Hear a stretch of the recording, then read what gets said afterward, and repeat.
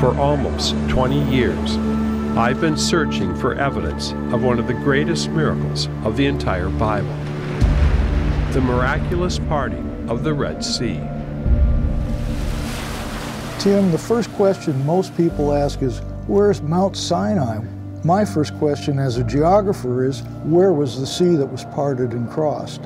So what do you think the crossing site, where would that be? Well, for once, I'm going to follow the conventional argument here. When I look at the Exodus story through the eyes of a scientist, then it contains a lot of observations which just make sense to modern science. I think it is possible to demonstrate that it took place in close proximity to Egypt. I know that some people would say, well, there were probably 5,000, maybe 20,000 Israelites. This matter of large numbers is a very, very thorny issue.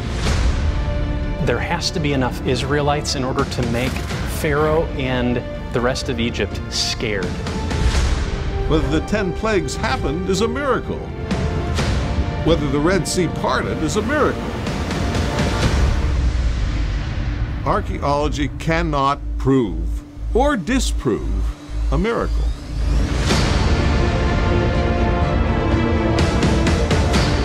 Make the sea small, put it close to Egypt, all of a sudden it calls into question the biblical text itself.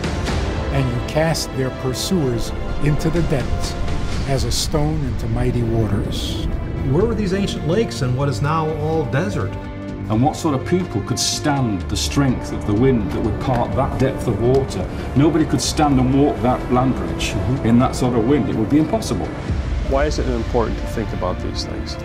At the end of the day, we're really talking about a miraculous event of unprecedented proportion, of God's miraculous saving power.